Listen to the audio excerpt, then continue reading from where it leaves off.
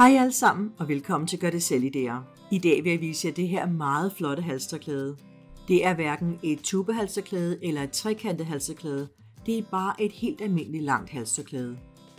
Det her det er lavet med kurvehækling. Det er altså bare stangmasker, som så er vævet rundt omkring hinanden. Det er altså meget nemt og et meget nemt mønster med det her alpaka uld. Det er en virkelig fin lyserød farve, som er helt perfekt her til foråret for jeg skal nok vise jer, hvordan jeg lavede det.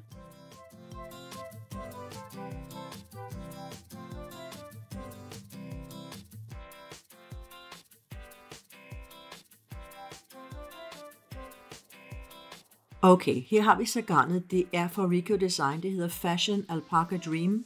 Og det er 50 gram 120 meter. 64% ren ny uld, 30% alpaka og 6% polyamid og det er lavet til en størrelse 8 hæklenål. Men til det her projekt, har jeg altså valgt min hæklenål på størrelse 6.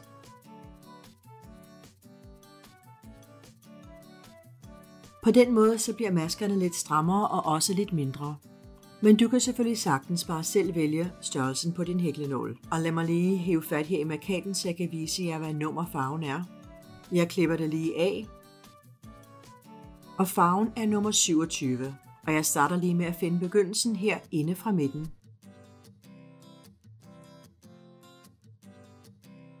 Okay, så har jeg så fundet begyndelsen.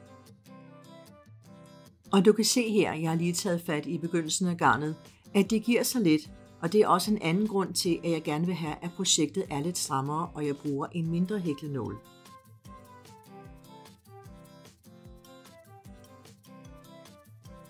Så hvis du gerne vil have, at projektet skal være lidt mere løst, skal du selvfølgelig bruge størrelse 8, men jeg bruger som sagt min hæklenål på størrelse 6.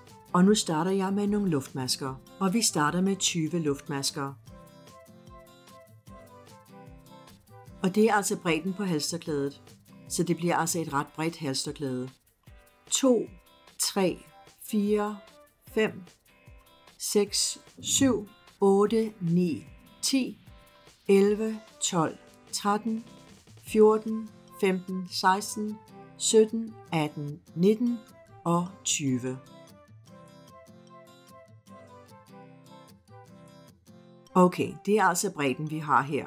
Og du kan se, at det går meget nemt med den her størrelse hæklenål.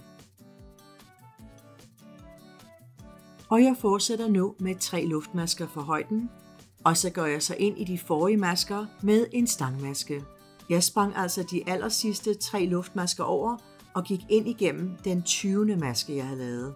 Og der laver jeg så min stangmaske. Jeg vikler altså garnet rundt om hæklenålen og går ind igennem masken og trækker den igennem, og så trækker jeg den igennem to masker, og så til sidst trækker jeg den igennem alle tre masker. Og jeg fortsætter på den måde hele vejen i resten af den her række. Og så er jeg så færdig med den første række.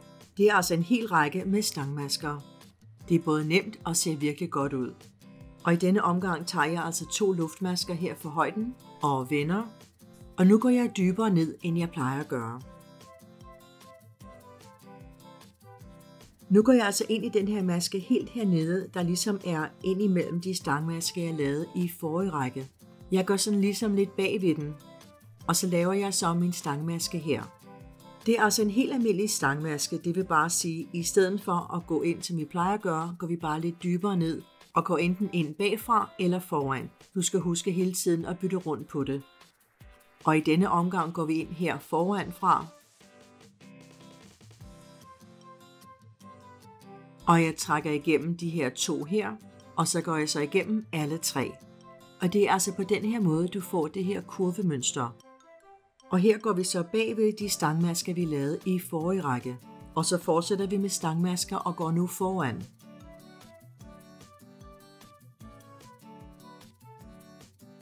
Og nu kan du virkelig begynde at se det her kurvefletmønster. Det bliver selvfølgelig endnu tydeligere, når vi er kommet lidt længere. Og du opnår altså det her mønster ved at gå foran og så bagved.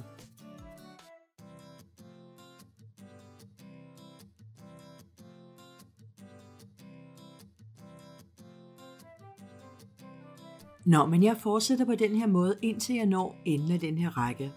Bare husk, at du skal huske at bytte rundt på, om du går ind foran eller bagved.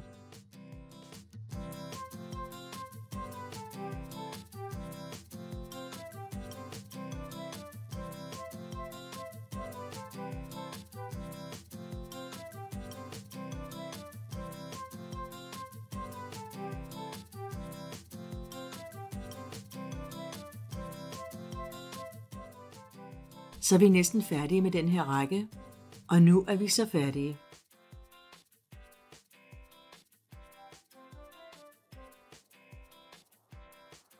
Det er altså den første række, hvor vi virkelig har det fulde mønster. Du kan virkelig se, hvordan det kommer til at se ud. Det ser virkelig godt ud, og du kan se, at jeg allerede har lavet de første to luftmasker, og det er jo de to masker, vi laver for højden. Og så vender vi om. Når vi så har vendt det om, skal du lige kigge på den maske fra den forrige række.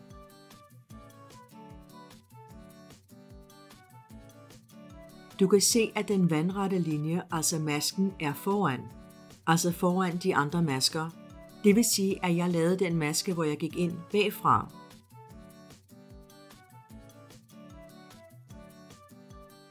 Men fordi vi jo lige har vendt det om, ser det faktisk ud, som om det er foran.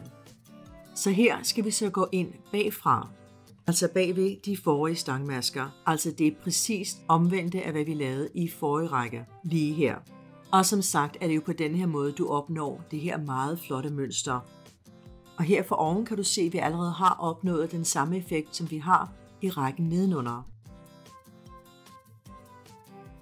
Og i denne omgang går vi ind her foran, altså foran den stangmaske, vi lavede i forrige række. Og på den måde fortsætter vi med at lave den samme effekt, altså samme mønster, som vi gjorde i forrige række. Så det er meget sjovt at lige at skulle huske på, om du skal gå foran eller bagved. Og den næste er foran.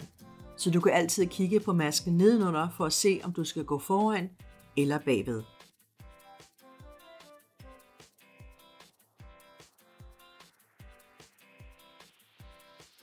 Så det er på en eller anden måde det samme mønster, du skal bare huske at bytte rundt på det, og så er det selvfølgelig helt omvendt, når du vender projektet om.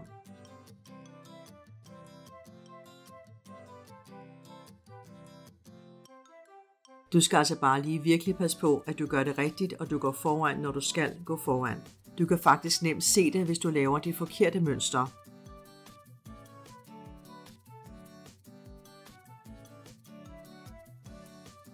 For eksempel lige her, hvor jeg har gjort det forkert, kan du se, at det ser forkert ud mellem de to rækker. Du kan se, at der er to lodrette streger i stedet for en af hver. Så det er jo helt klart forkert. Så jeg er lige gået tilbage og har lige fikset det. Så nu går jeg foran.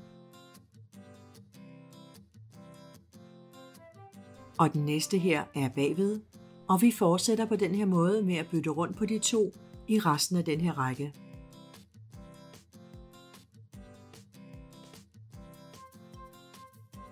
Og her kan du virkelig se mønstret her. Jeg viser dig der lige her fra siden. Det er faktisk et meget tykt mønster. Det her kurvemønster er virkelig flot. Nå, men jeg fortsætter indtil der ikke er mere garn tilbage.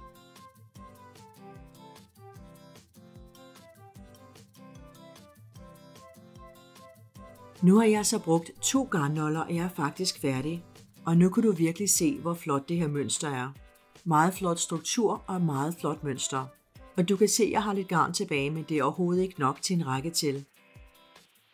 Så hvis du ville, kunne du faktisk godt lave det her om til et tubehalsterklæde med det her resterende garn. Men det gør jeg altså ikke i den her omgang. Så jeg trækker lige enden forsigtigt ud. Jeg vil hellere bare have et helt almindeligt halsterklæde i den her omgang. Som sagt trækker jeg lige det her garn ud og strammer forsigtigt til. Og vi klipper så enderne af senere hen og væver dem ind.